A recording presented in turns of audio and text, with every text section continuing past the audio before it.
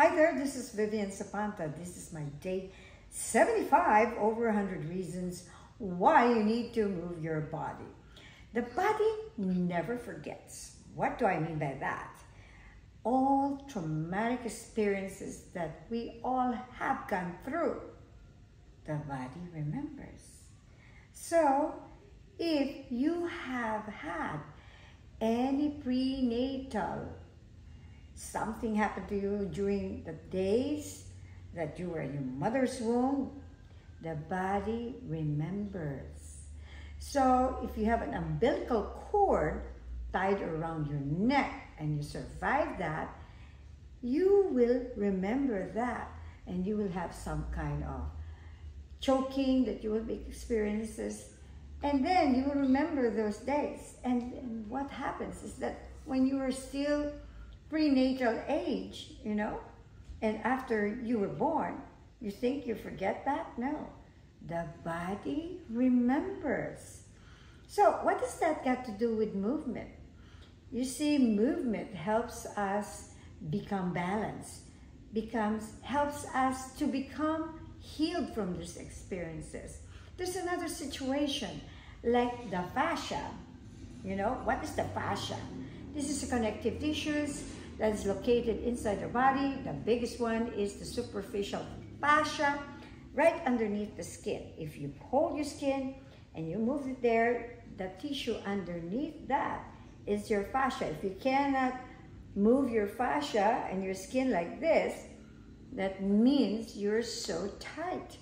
And that tightness in your fascia can cause pain. How come?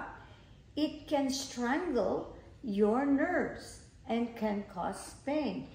That's why there is an exercise that you can practice, which is the fasciator roller.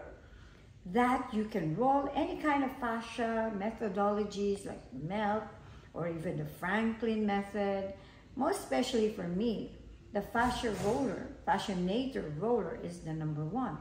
That can roll all throughout my body and even those parts that we thought or I thought does not have or emit pain and all of a sudden when I roll on it, oh my God, it's painful. So that is a precursor that I can prevent it from becoming complex or even become a disease.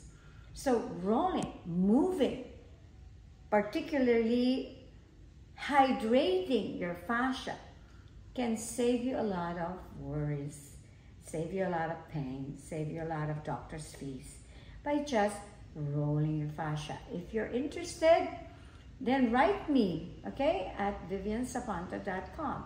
So studio at vivianzapanta.com. You see, moving your body is the best gift that you can give to yourself. When you don't move, you age.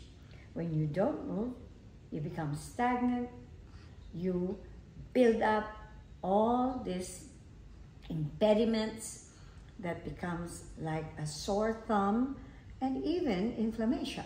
Stagnation causes inflammation. So do yourself a lot of favor. Move that body, exercise, and feel great and young, even if you are in a mature age. Bye for now. See you again. Ciao, Vivian here.